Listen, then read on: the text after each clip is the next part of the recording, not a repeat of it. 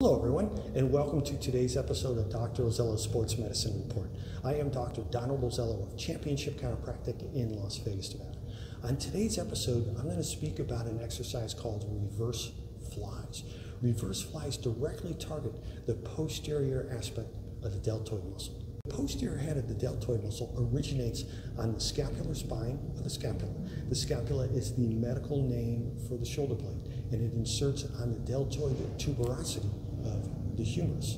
This muscle is often overlooked, and this muscle is often weak when compared to the anterior aspect of the deltoid. Many times, people suffer injuries or have poor posture because a strength and balance exists. The chest muscles and the anterior shoulder muscles are much stronger than the back muscles and the posterior shoulder muscles.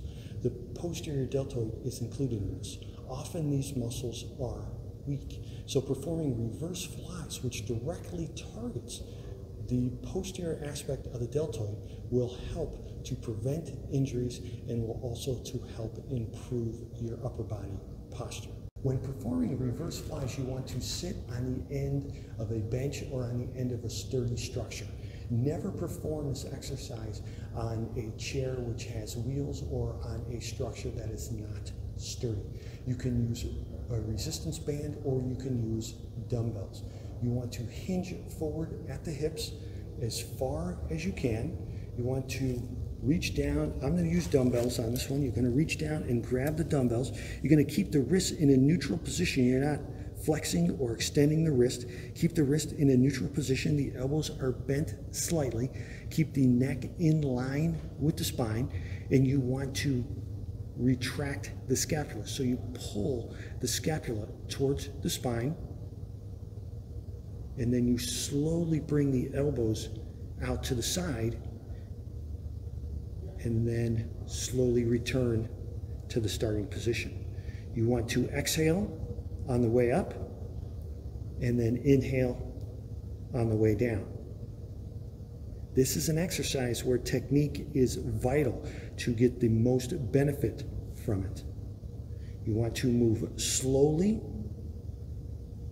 and control the eccentric phase of the exercise, which is the negative phase of the exercise, and the positive phase of the exercise. So you're not just throwing the weights up, exhale on the way up, control the motion, and then return to the starting position.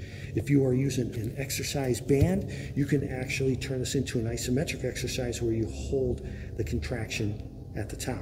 The upper arms should be raised so that the arms are perpendicular to the body. Try to keep the shoulders moving so that the arms are at a 90 degree angle from the trunk. Strengthening the posterior aspect of the deltoid along with the posterior rotator cuff muscles and the scapular retractor muscles is extremely important in the prevention and rehabilitation of shoulder injuries and upper back and neck injuries. So always start at your current fitness level. Don't try to do what you did before you were injured. Don't try to do what someone else is doing. Don't try to do what you did when you were younger. Start at your current fitness level. Increase the intensity in small, gradual, calculated increments. Utilize reverse flies to strengthen the posterior head of the deltoid.